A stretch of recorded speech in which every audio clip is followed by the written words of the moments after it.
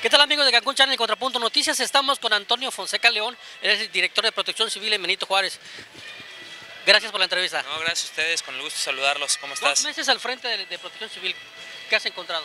que he encontrado, mira, muchas cosas buenas, hay muchas otras que, que tendremos que ir cambiando eh, y lo importante más que nada siempre es eh, donde se llegue y todo es trabajar, hacer las cosas mejor de lo que se han podido y la realidad es que la presidenta municipal desde el primer día nos dio mucha tarea.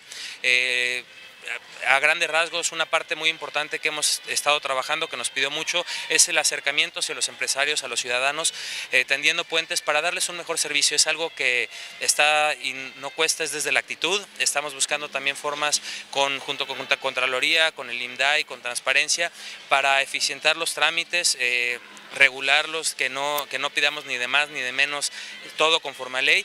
Y estamos abriendo programas en los que facilitemos eh, y aceleremos los trámites. Los quiero invitar, qué bueno que me acordé, al tema de anuencias express. Ahorita todo lo que es de bajo riesgo lo estamos sacando de un día a otro, a más tardar. Eh, puede ser el mismo día, el mismo día sale la orden de pago, eh, una vez hecho el pago tienen su anuencia, ¿no?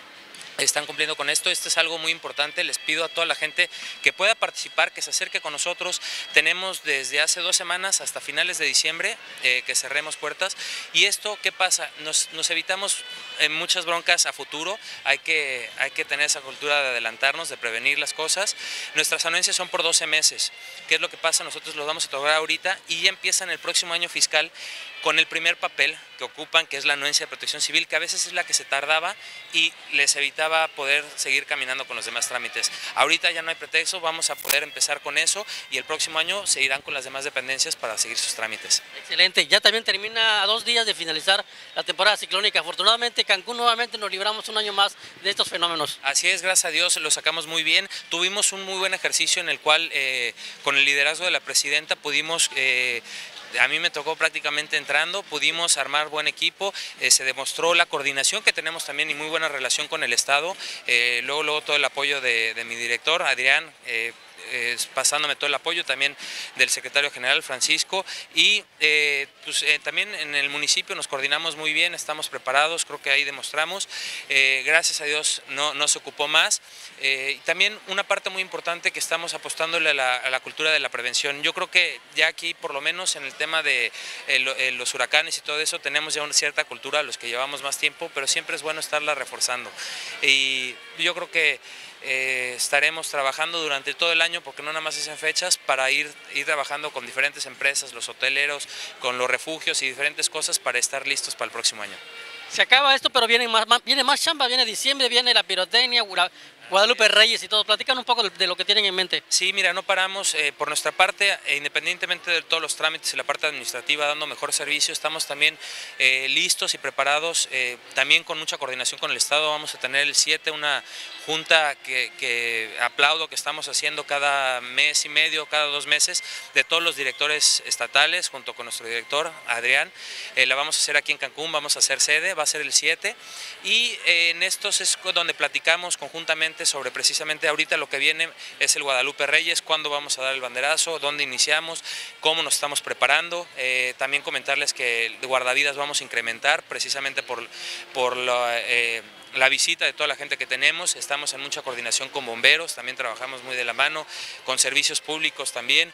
Entonces comentarte que pues estamos siempre buscando la forma de estar listos, estar prevenidos y siempre pues, del día a día dar mejor servicio.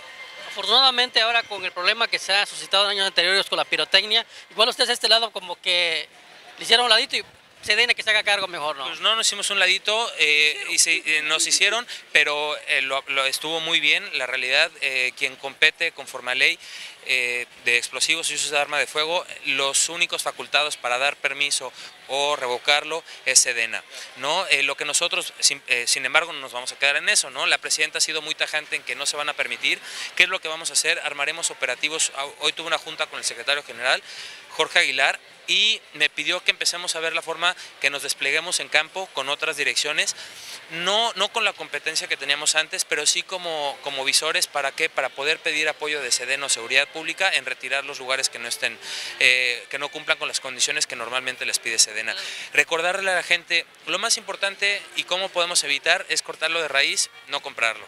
Si no compráramos, no se pondrían. Entonces, y comentarles, está prohibido. El año pasado eh, tuvimos un caso muy sonado, un niño de 12 años que le reventó eh, una bomba, un petardo cerca de la cara. Eh, cuando llegó la ambulancia todavía estaba con vida y al llegar al hospital ya había fallecido.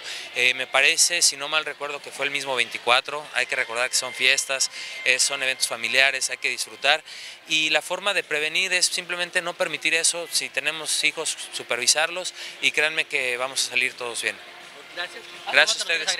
No, pues agradecerles a, ustedes siempre el espacio y la oportunidad de poder comentar de los programas que tenemos. Gracias, Antonio Fonseca. Gracias. Amigos de Cancucha y Contrapunto Noticias, nosotros continuamos con la programación.